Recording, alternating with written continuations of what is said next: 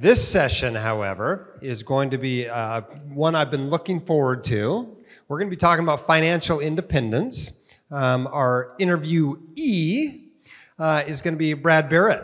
Barrett. He's the host of the Top 50 Business Podcast, Choose FI. He's passionate about financial independence and mostly helping people take action to make their lives richer in every way wealth, health, connections, and ultimately happiness. He achieved financial independence at 35, which is pretty impressive to those of us who didn't come out of residency until about that age, and uh, lives in Richmond, Virginia with his wife and two daughters. So, welcome. Interviewing him is uh, Sean Mullaney. He's an advice only financial planner and the president of Mullaney Financial and Tax. He writes the Plutus award winning blog, FI Tax Guy, on the intersection of tax and financial independence. He also has a personal finance YouTube channel and published a book that apparently 21 million people in this country need Solo 401k, the Solopreneur's Retirement Account, a book about his favorite retirement account in 2022. So, Sean and Brad, take it away.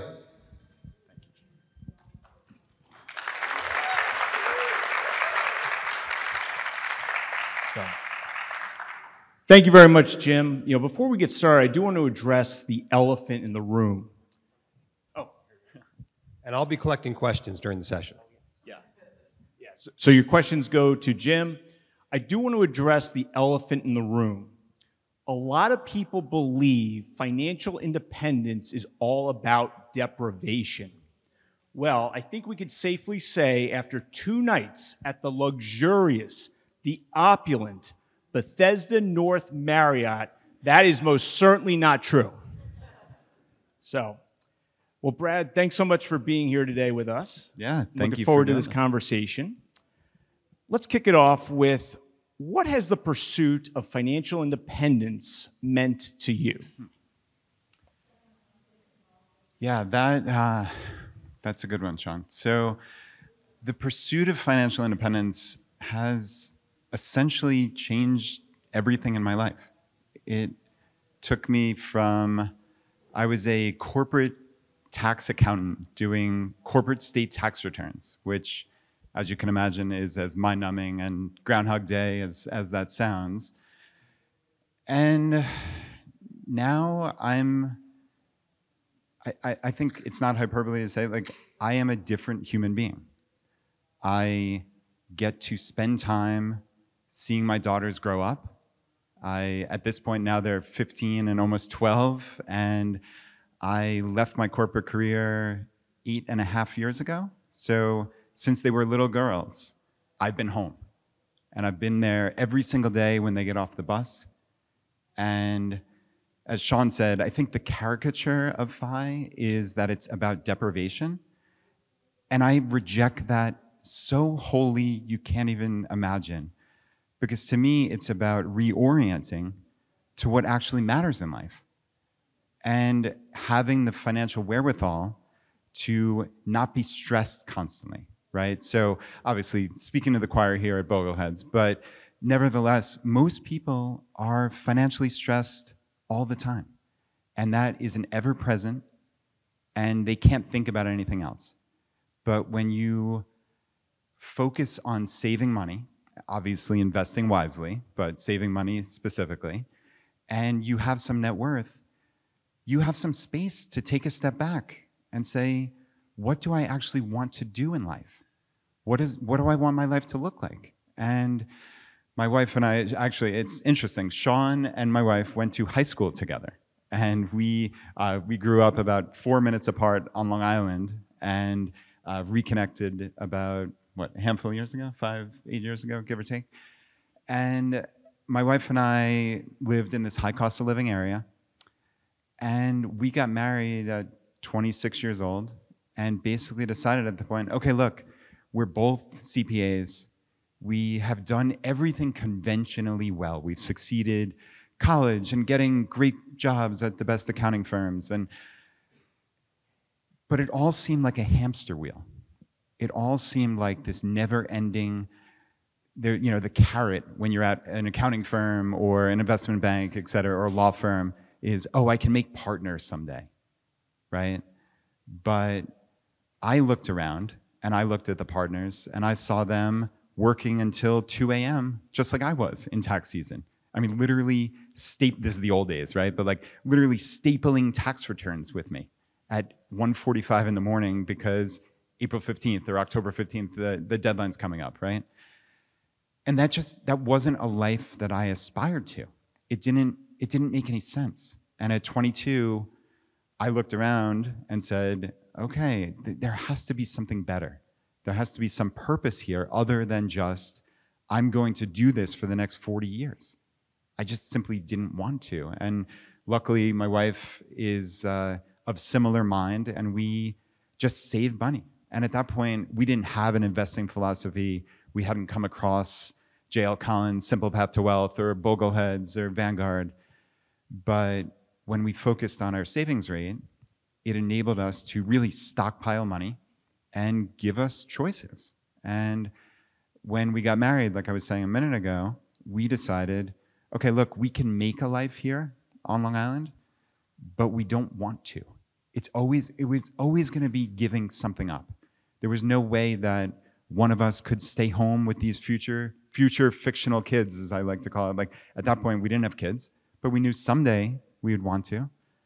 And it's incredible now to look 15 years, 18 years after the fact and say, wow, all those plans we set out as, I mean, kids, yeah, 25, it's worked out better than I could have possibly imagined. So, uh, yeah, it's it's it's it's interesting, Sean. It's been a it's been a wild journey. Yeah, and Brad, I really like some of that reframe there because essentially you and your wife Laura met one of the biggest goals of financial independence well before you ever retired from your day job, right? You were able to have your wife stay home with your children, um, and you weren't financially independent at that point. You probably weren't even all that close. Maybe you, I don't I don't know your numbers. No, but, you're right. You're right. So I think that's just like a great reframe of the whole. You know, people think it's tech bros and we're gonna get to retire at 40. Well, no, you just saw it with the Barretts that it was, hey, step one, goal one, a huge goal is mom gets to stay home with the two daughters. I think that's fantastic, Brad. Yeah, and, and you hit on something, which is uh, there's uh, many of you have heard of FIRE, right? So financial independence, retire early. And I feel like the RE is such a distraction. It it becomes this that it sucks up all the oxygen in the room, essentially. People only focus on, oh, what are you gonna do? Sit around, do nothing, just be unproductive and just, you know, waste away in essence. And like it becomes, oh, these 30-year-old kids, they're just doing nothing. And I just, again, that's something I reject so significantly. I, I don't know anybody, well, A, as you notice, this is about financial independence. There's no retire early. My podcast is Choose FI, not Choose Fire, because again, it's a distraction. The RE is irrelevant. I don't know, I know there are a lot of uh, my friends here in the audience who also create content in the financial independence world. And like, I can't think of one single person I've ever met in the FI world that just sits around and does nothing. Because that's not what we aspire to. We aspire to make a difference in the world. We aspire to add value to our community. Whatever you define community as, could be as micro as your neighborhood to your religious organization to the local nonprofit to your university to whatever it may be. And when you have that time and space to focus on these things, you actually can for the first time in your life. So it does feel a little bit odd for many of us to step off the career path because I think so many of us have defined success as the career path. But if you can just reframe it and not think that you're being unproductive or people are going to look at you differently or, or negatively, and just say, there is a big wide world out there. And if I'm really, really fortunate, I get nine decades on this planet, right? Think about that. Really fortunate. You get nine healthy decades. To spend any of that additionally working for money in a job that you don't absolutely love, that you're not cartwheeling down the road to go to, I think that's the height of folly. It doesn't make any sense to me. Brad, what are your thoughts on the difference between financial independence and conventional personal finance? Oh, yeah, that's uh, that's a good one, Sean. So I would certainly not define Bogleheads as personal as traditional personal finance. I think I think to me the biggest thing, and one of we had thought about calling this uh, talk the the superpower of financial independence. I think the traditional personal finance world, it's almost like like fear mongering to a large degree. I, I know you hear the the Suze Ormans of the world say, "Oh, you can never retire," or "You're going to need twelve million dollars because healthcare." Okay, well, you know, healthcare is expensive. Nobody's going to deny that. But do you need is twelve million dollars completely made up? Yeah, of course it is. Can most people aspire to 10, 12, 15 million dollars? No, they can't. So what do they do? What do you what do humans do when we're met with something that is just so far out of reach that we can't even contemplate it? We throw our hands up and we go on YOLOing our lives, right? And I think what FI does is, and, and the biggest superpower, is it reorients around what you can control. And I think this is really the biggest distinction is FI looks at, and eh, it's funny because this is going to be the least technical talk of this entire weekend, obviously, by a mile. But FI looks at what does my life cost? Okay? It's not just some magical number for your financial independence or your retirement number. It's not based on what a retirement calculator says, because, I mean, frankly, those are fundamentally flawed because they start with your current income, which is wholly irrelevant to what you actually need in retirement or financial independence or whatever you want to call it. We look at what does my life cost? And that's actually what I need to cover to live each year, right? Just very simply. Again, this is a rethink, but it, it's, it's pretty evident once we think about it. And then again, the technical, we can, we can have large, in-depth conversations, but just very simply, even just saying the 4% rule. Again, we'll, uh, we'll put to the side the analysis and just say, all right, my life costs $80,000 a year, multiply by 25, I need $2 million. That's my FI number, mine. It's not what Suze Orman tells me. It's my FI number because my life costs $80,000 a year. And now, of course, that's going to change, and seasons of life of you know, you can you can model that clearly. But I think what's so beautiful about the message of FI is there is some degree of certainty, and you control the starting point. And like Sean said, there is a caricature of FI being about deprivation. And I think that's because frankly, many of the early adherents of, of the fire world were people who, you know, Jacob from Early Retirement Extreme, who spends whatever it is, $8,000 a year on his life. Like, I don't aspire to that. I can't imagine any of you do either. I mean, that's not, that's not a life I want to live. But if Jacob wants to live that, then wonderful. If that, that's great. If your life costs $30,000 a year, all right, well, you need what, $750,000 to reach FI. And that's your life and you control it. And so, again, I think just that fundamental starting point is really the biggest difference, Sean. Brad, what do you think are the superpowers of financial independence? Yeah, well, I mean, I guess that that is honestly that's one of them. Is really that starting point. Um, Yes, superpowers. So I, I, jotted down some things here. So right, it certainly gives you certainty. I think the your savings rate being critical. So uh, I don't know if anybody's ever heard of uh, Mr. Money Mustache, which is kind of a, a, funny name, but he's the, the biggest name in the financial independence world. And he has an article that I would suggest every single person read. It's called The Shockingly Simple Math Behind Early Retirement. And I think this is this is one of those aha moments. So yeah, everybody that's take a second, write this down. Shockingly simple math behind early retirement. Because when you see it, it's one of those moments you can't you can't unsee. It's similar to when you learn about about Vanguard and low cost index fund investing. You can't unsee it. When you see that, hey, if I had my money in a 1% expense ratio fund with a 1% advisory AUM, I'm going to lose whatever it is, 30 to 50% of my net worth over a 40 year period, right? Like you can't unsee that. It's the same with this in terms of, hey, what is your savings rate? And Sean, this frankly goes back to your question what's the biggest difference between traditional personal finance and FI?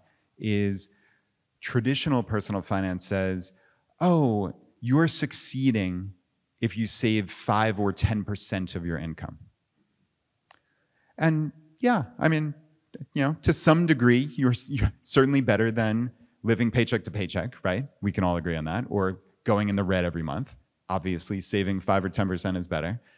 But when you look at that article, and I don't have it committed to memory, unfortunately, but it's something absurd like 45 or 50 year working lifetime, you would reach financial independence if you saved 10%. It would take you about, is, is that roughly somewhere in the vicinity of 40 years? Something like that. I'm not entirely sure. Again, don't quote us, but it's somewhere right around there. It might even be more, frankly. But if you save 50% of your income, which to most people sounds outlandish, but if you happen, like I, I think about my daughters, before they've made any mistakes, right? Before they bought fancy cars and a big house and went to college and got $200,000 of debt, if I can reorient them around saving 50% of their income, I would argue you essentially cannot possibly screw up your financial life if you save 50% of your income. You can, I mean, I've done incredibly stupid things. I invested in some real estate speculation when I was in 2007, 2008 that cost me hundreds of thousands of dollars. And because I oriented around a significant savings rate, it's but a blip. I mean, sure, would I love to have compounded? You know, it's probably $700,000. Would I love to have that money? Obviously, I would. But I don't think about it ever again because it was but a blip. And so you look at that article, and I think it's, uh, I think he has it as if you save 50% of your income, you reach FI in 17 years in his article. I think a lot of people have it a little less than that, actually, 14 years. So somewhere, you know, again, we're not going to quibble over exact details, but somewhere in the 14 to 17 year period. That sounds like a much better working career than 40, 50, 60 years. So again, orienting around savings rate, I think, is just absolutely critical. All right, let's get away from the technical stuff and back towards the lifestyle stuff. Are there major life changes that are necessary in order to pursue financial independence? Necessary, no. But every single person, and I I almost uh, cringed as the words were coming out of, out of my mouth, talking about my daughters and saying, oh, before they bought fancy cars or big houses. And, you know, frankly, if you saw my house, it's a nice big house in the best part of the Richmond metro area. Like, this is not about deprivation. And if you want to drive your BMW, great, do it. That's wonderful. Make choices based on value okay and what you value and not what your neighbor wants you or you know the keeping up with the joneses nonsense right so i think on, sean i lost the plot on your uh, your actual question So, just the major lifestyle Oh, changes. is Are there major life Right. changes necessary? Thank you. I'm sorry. So, right. And I led this story with I lived in a high cost of living area and I moved to a lower cost of living area, which again is something that I almost cringe about because I don't want anybody to think that that is a prerequisite, that you have to live in Richmond, VA or Alabama or you know, wherever, fill in the blank.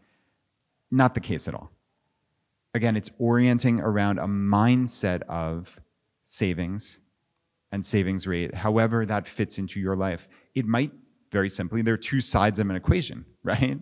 So, earning additional income, upskilling, negotiating. We have multiple episodes on salary negotiation, which has been a remarkable thing for our community. I mean, I, I get emails constantly from people hey, I the, the woman's name is Financial Mechanic, she goes by. So uh, I heard the episode with Financial Mechanic and I negotiated a $15,000 raise with my next job. I get these all the time. So obviously, there's two sides of an equation, clearly, but is is your path to FI going to be accelerated by cutting out some of the frivolous waste, which we all have in your budget? Yeah, I mean, it obviously is. I'm not going to sit here and lie to you and say, if you're living the YOLO mentality and you're living paycheck to paycheck or you know going into the red every single month, that you can just continue doing that and reach FI in 10 years. It's not going to happen, right? What is the critical part, and this is, I think, really the fundamental lesson from my podcast, which I mean, you know, I'm not one of those pat myself on the back people, but 600 episodes, 65 million downloads, a community of hundreds of thousands of people across the world. The common bond is very simply taking action. Okay? So you can get all the information you want from Bogleheads this weekend.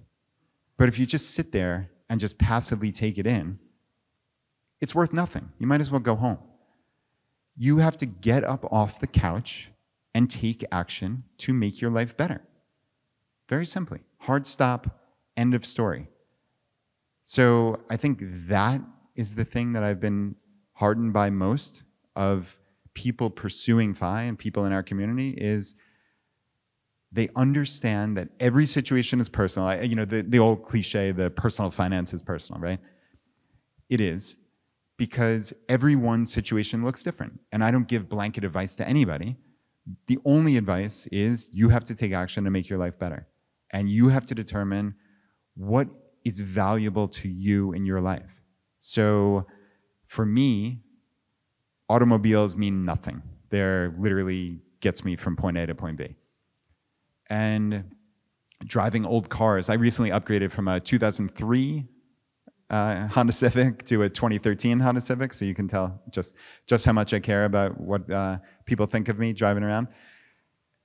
But that decision to essentially have no car payments for the last 20 years, except for obviously two lump sums, I think when compounded, that's a somewhere in the vicinity of $400,000 plus decision and obviously timeline, et cetera. You know, we can go on into all this. I have podcasts about it, but nobody really cares. But it's it's a massive decision, right? And that's one thing.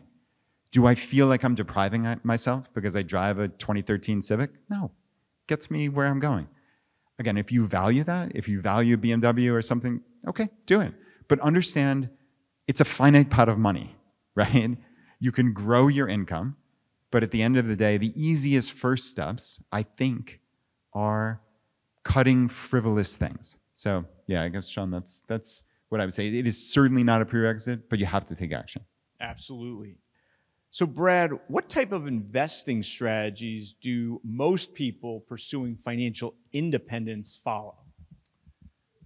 Yeah, so this is uh, near and dear to everyone. Everyone here, certainly. It's uh, most people in the FI world follow uh, J.L. Collins and his book Simple Path to Wealth, uh, VTSAX, obviously Total Stock Market Index Fund from Vanguard, has become really thanks to JL and, and his book and his message and his the stock series on his website. That's almost become like the default investment strategy. And you know, of course, it's not. It doesn't start and stop there. But I think for a lot of people, low cost index fund investing is where the vast majority of people in the FI world put their money. And I know for me, it was, and, and I'm sure many of you out there have had the same aha moment with Bogleheads, is when, when you see it, again, it's one of those moments you can't unsee once you've seen it, right? You, you understand, all right, what is the likelihood that I'm going to beat the market net of net of fees and taxes for for trading over a 40 50 year investing lifetime what's the chance i'm going to beat the market? Approximately zero. Right? So why would i even try? If if like literally the brain dead version it's the only place i can think of in life where putting less effort in is going to get you better results so again i'm preaching to the choir here obviously i don't need to waste a lot of time on this but uh, yeah the vast majority of people put the I would say the vast majority of their net worth in low cost Vanguard and the like index funds. There are many people who pursue real estate as an investing strategy, certainly. Uh, there's a large overlap between the, the BiggerPockets community. Anybody who's a real estate investor certainly recognizes BiggerPockets. And, uh, you know, of course, there are always the religious arguments of dividend investing and real estate and people thinking that, that their specific type of investment is going to outperform. I mean, I find it a little, a little dubious at best. Uh, I've yet to be yet to be swayed. So the vast majority of my net worth is certainly in low cost index funds. So yeah, I mean, Sean, I think it's it's probably a pretty large. There's a there's a large sample, but I would say the vast majority of people, it's index funds and real estate. Yeah, it's certainly an area I think of overlap or alignment between the typical boglehead and the typical financial independence person. You know, Brad, so you are one of the most prominent voices in the FI community. And one of the things I appreciate, appreciate about your voice is you're very goal oriented, right? What are we trying to get to? What are we trying to achieve here? But you're certainly not the only voice in the financial independence community, as it should be, right? I've got a question for you about that, though. Are tactics overemphasized within the financial independence community? Ooh. So our tactics, so like precise tactics. Yeah, I mean things like uh, it could be backdoor Roth IRA, mm. it could be yeah. 529, it could even be just maxing out your 401k, getting your employer match. Do we, sp- you know, HSAs? There are all sorts of tactics out there, even on the investing side, right? Are tactics too? Are we focusing too much on tactics in the fire in the financial independence movement over sort of the bigger picture and the goals? Yeah, yeah, that's a good one. So for me, I focus. So I, I don't want to speak for the community at large, certainly, but for me, I focus so little on the tactics. So yeah, I mean, I guess I would say, by extension, if there is significant focus on the minutia, I think it's missing the forest for the trees.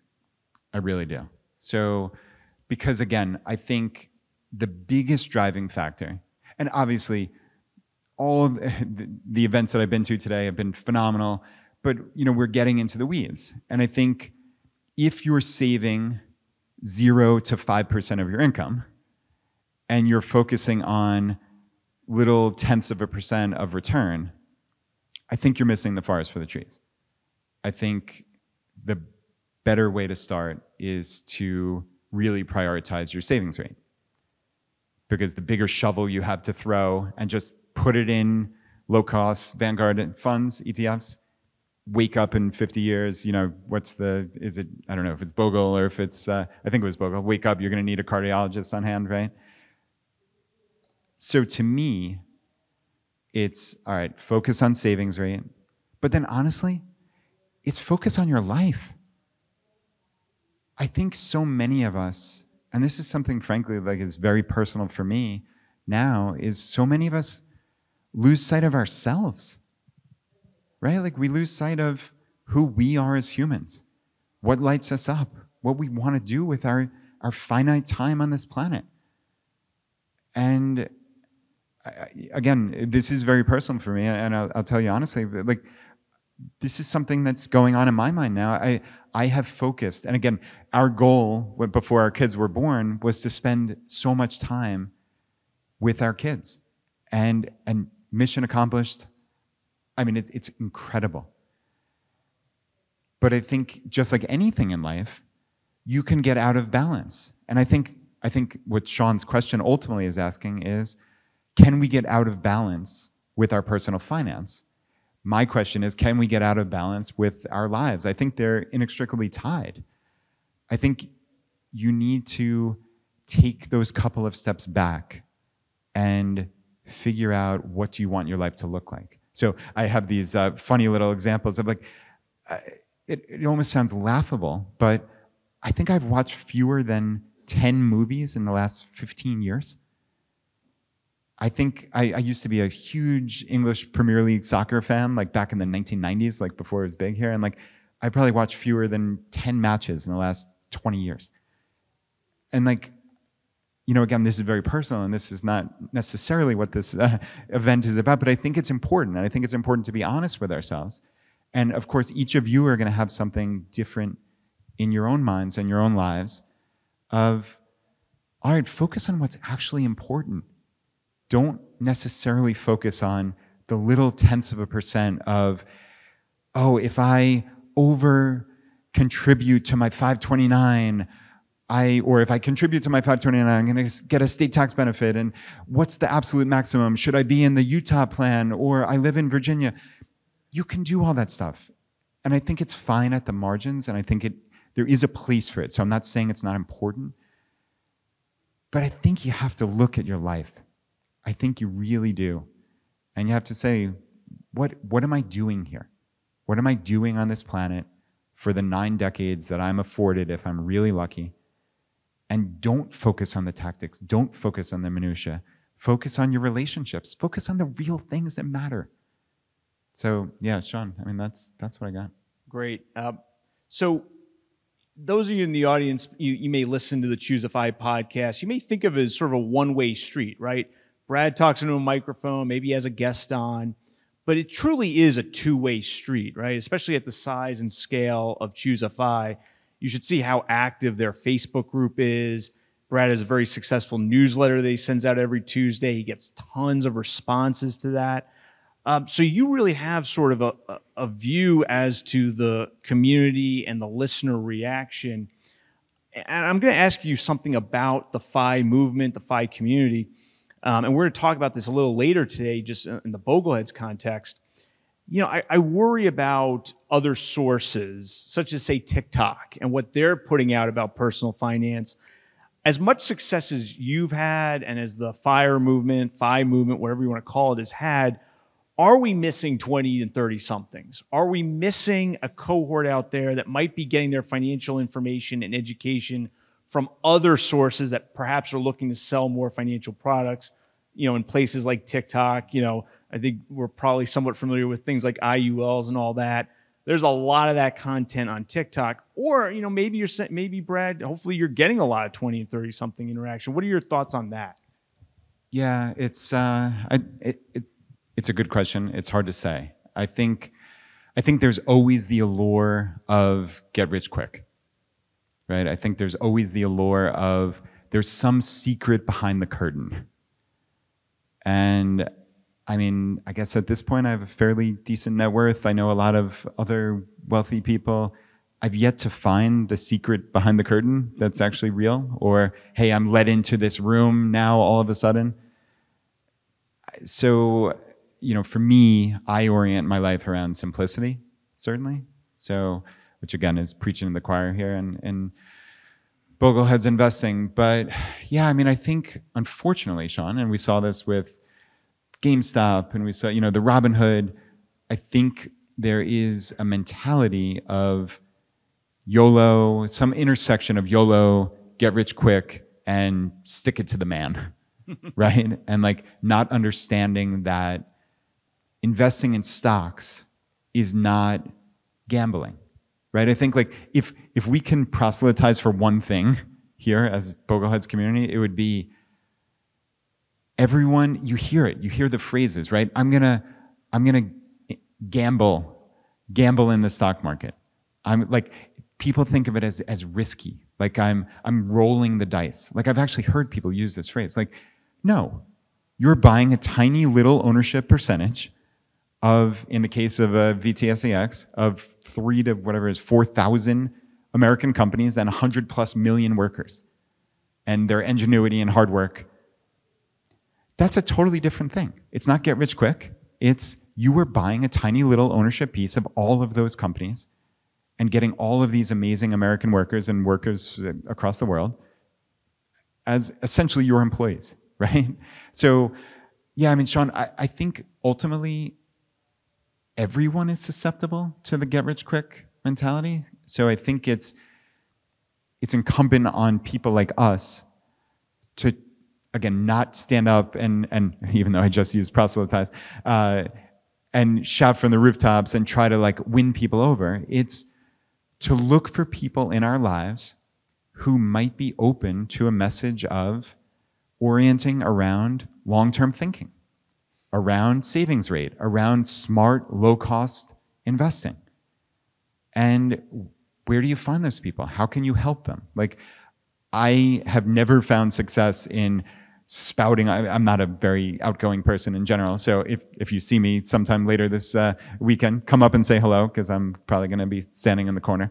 Um, so, so I'm not running around telling people about FI, but when I hear people talk about, oh, I invested in my 401k, or even down to, oh, I'm clipping coupons, like people who are oriented around, again, somehow saving money, somehow thinking about money. Because, I mean, I think all of us know the vast majority of people are just kind of YOLOing it.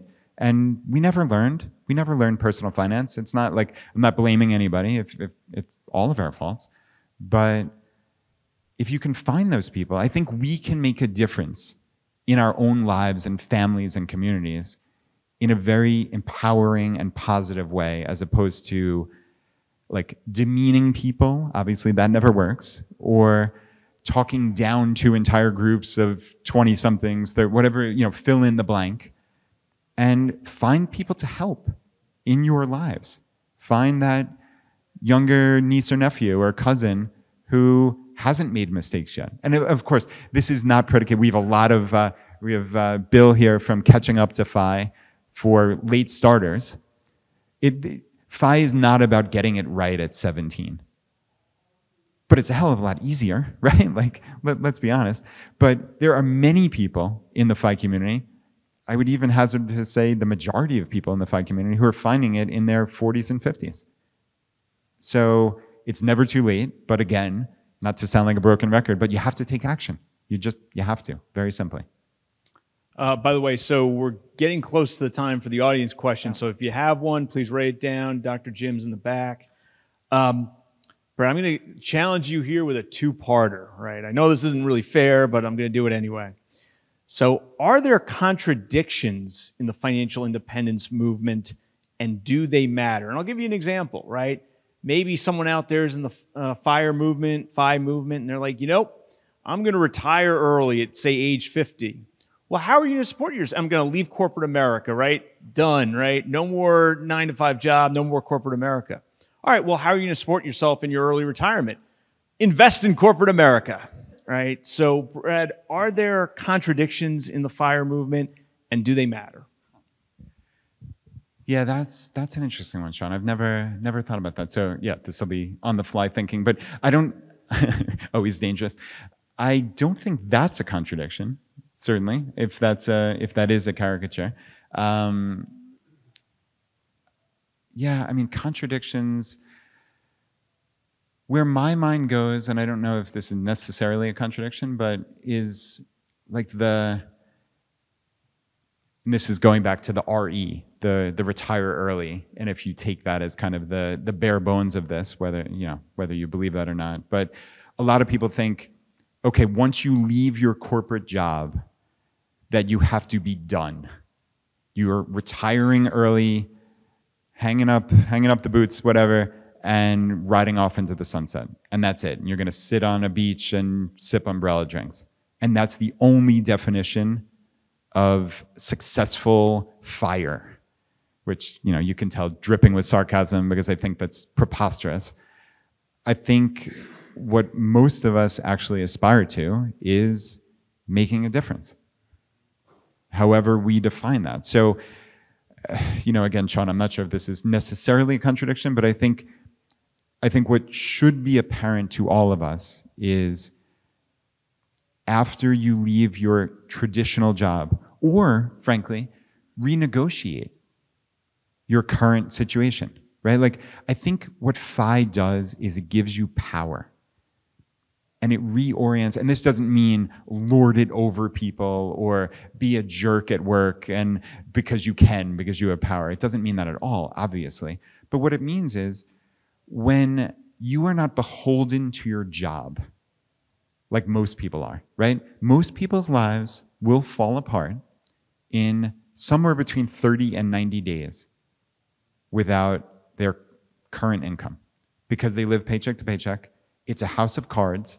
They might even make a nice income, But if you spend it all and you have no net worth, you are poor. You know, that, that sounds a little extreme, but it is the truth. If you have no net worth, you're living paycheck to paycheck. I don't care if you make 70 grand or 300. Same bottom line, same net worth, right? So I think, yeah, ultimately, it's like, like I was saying, you can reorient and not lord this over people, but what do I actually like as part of my job? For people that I'm sure there are many of you who would say, I love my job. And I believe you to a degree, but I'm sure there are many aspects of your job that you don't love. I'm sure nobody wants to go to endless meetings and fill in TPS reports and whatever other nonsense, right? Well, I wonder if there's a way to re, I don't know, reorient, I guess I, am overusing that word, but to change the entire way that your job looks and add more value, potentially the same value, with less time spent at the office. Okay, so what does that look like when you reach financial independence and the power is in your court? Could it look like, hey, I only want to come in three days a week for four hours, but I really love this aspect of my job. And I think I do it in a way that would be really hard to replace. Nobody's irreplaceable, obviously, but this would be really hard to replace, and there's no need to because I want to keep doing this. Well, I think the, the powers that be at your office will be a little bit taken aback at first, but I suspect you have more power than you think. And, you know, that would be kind of like a parting message that I would leave to everyone here is I think you have more power than you believe. And when you are at this point of financial independence, and even frankly, far before it, the power just keeps subtly shifting towards you. And then you can actually devise a life that you want to live. And it's not just the same Groundhog Day nonsense over and over again. So, Sean, I didn't exactly answer your question, but I think the contradiction is, you know, it's ultimately like, it's not either or, right? Like, you're going to be doing something, but you're going to be doing it on your terms. And that might mean earning income. For most people, it will be in some way, but it doesn't have to be the same amount of income. It could be a tiny little fraction, it can be anything. The ball is in your court. And I think that that is just so powerful. All right, we've got some audience questions. We don't have that much time, but we're going to try to get through some of them. This one's very personal to you, Brad. How did you feel about your portfolio during March 2020? And did you rebalance or spend less after restrictions were lifted? Yeah, this is a good one. It's uh, I think all of us would like to believe that, like uh, Dr. Jim over here, that we have an investor policy statement and we have we have steeled ourselves for whatever calamity is going to befall us or the world. And I think what's really important to remember is we're all human, right? And we're, I think for me, 90% of personal finance is up here in this little primitive brain, and 10% of it is numbers and getting the minutia and all the tactics right. So, yeah, I mean, I'm not going to lie. In March of 2020, when the world, when who the heck knew what was going to happen, I mean, I freaked out like everybody else did. And luckily, because I have some degree of knowledge and I understand that this is, uh, you know, in this case, a 60 year investing horizon. I didn't sell everything and run for the hills and buy gold and MREs and whatever other nonsense, right? But like, thought crossed my mind, you know, like I'm sure it did most of us. Uh, but obviously, that's what having an investor policy statement, where that helps. Or even if you don't have it written down, just understanding that this stuff happens right? It's not going to be COVID next time. It's going to be something. Something is coming, right? And we've all seen the the numbers, and I'm not going to get it, the paraphrasing right, but like if you miss the 12 best days in the market over a 20 year period, you lose X percent of the return, right? Like it's, you cannot let your emotions rule you. But man, it's, it's hard, right? It's hard. I think a lot of us freaked out. So did I, did I sell a little bit? I mean, this might be the first time I've publicly said, yeah, I did. It wasn't a lot, thankfully. It was just, it was emotional and it was rash and it was stupid, frankly, and it obviously cost myself, but it was luckily I didn't make anything terrible. You know, I, this wasn't a significant thing. So, you know, my, and I guess to the second part of the question, I am still in an unusual place where my, I own a number of websites. I've uh, Travel Miles 101, where I help people like travel the world with credit card points. So like, and I have ChooseFI. So I'm earning enough money to cover my life expenses. So in all candor, like there has never been a month where I've had to draw down on my assets. So I am not like the prototypical, but again, there is no prototypical FI person because I think many of us continue to earn some amount of money after we've reached FI. But yeah, have I reached a point where I'm earning zero dollars and drawing down? No. So, I mean, frankly, my tactics and strategy didn't have to change, which I think is perfect world scenario anyway that hey i'm not changing anything amidst calamity or coming out of a calamity. I think we should all again the hardest part is up here. Let's all be honest with ourselves right? So anything you can do it's like running the reps on things. How can you get these reps in? And do we want calamities to befall us to get these reps in? No but okay i've been to through 2008 and again i screwed up royally on real estate there, but at least I've learned. And now I look at real estate as I own a couple single family rentals down in Georgia and I own them mortgage free and there's nothing can go wrong. So like that was a lesson that I took from it. And I will never make that speculation mistake ever again. I learned that I am as susceptible to freaking out as anybody amidst a market downturn but now I understand the emotion. I understand what's going to happen the next time in my own head, and hopefully I'm the wiser for it. Here's another one, Brad, that is near and dear to your own heart. Kids are expensive. What advice do you have for parents of young children seeking to reach financial independence? Yeah, I mean, I think kids can be expensive. I don't think kids necessarily are by definition expensive, though I guess uh, if we look at opportunity cost, which I think, so I would argue that my kids have not been terribly expensive, like out of pocket, but I think that would be a silly analysis because the opportunity cost is my wife has not been working now essentially for 15 years. So I would have to be a fool to stand up here and say, kids are not expensive, right? So opportunity cost has to function, has to matter in any equation. I think pursuing FI with kids is just like pursuing FI to a large degree without kids in the sense that it's about choices, right? So and every single person is different.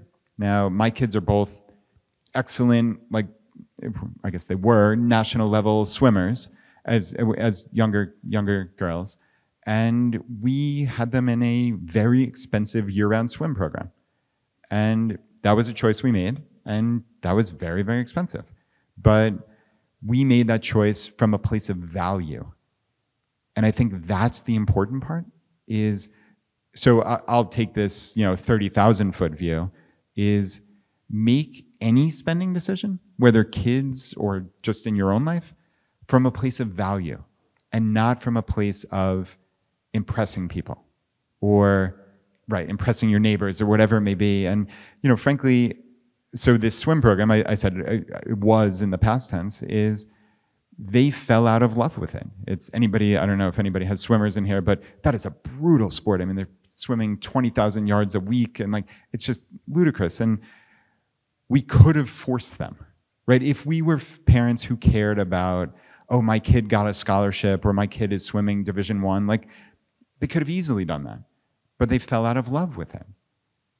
And that was the day they stopped swimming because it wasn't about us, right? So I think a lot of parents, and this goes, let's all be honest with ourselves, it goes with the car decal that you put up on, on the back of your car, right? Like, again, my daughter, who's a, the older one, who's an excellent swimmer, that very easily could have said MIT.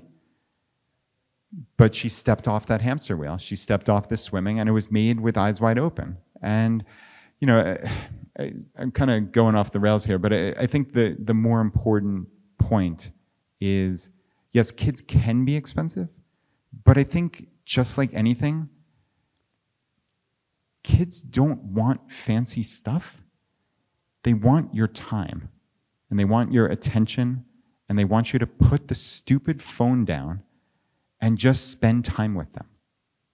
Right? So, like, yeah, kids can be expensive as you make them, or they can be as inexpensive as your family wants it to be, right? Like, there's so many free, amazing. I live in Richmond, VA, which is not like the center of the universe by any means, but we could do something free outdoors or some festival every weekend of the year if we decided, and that costs nothing. I know we had, uh, and I know we're running out of time here, but uh, Liz from Frugalwoods on way back in, I think it was like episode 12 of Choose a FI in early 2017, and she was saying that the interesting thing of living in a city is everybody thinks it's so expensive. She's like, that's laughable. Yeah, it's expensive to actually the, the rent, but everything else is free. They lived in Boston and there are 30 universities there with events every single weekend. So I, I think the larger point that I would, I would give to everybody here is think a little bit differently. Okay? We're all thinking a little bit differently being here at Bogleheads. We're thinking a little bit differently being in the FI community. Think a little bit differently. You don't have to be cookie cutter. You can actually do what you want to do based around your values. So that's my challenge. Think a little bit differently and get up off the couch and take action. Brad, well, first of all, thank you for being here today. And can we get a round of applause for Brad Barrett?